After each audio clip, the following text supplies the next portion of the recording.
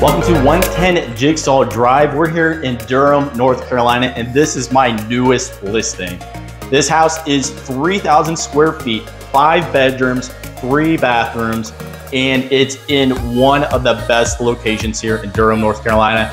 You're really just 10 minutes away from downtown Durham, the Durham Bulls Athletic Park there, and 15 minutes from RTP.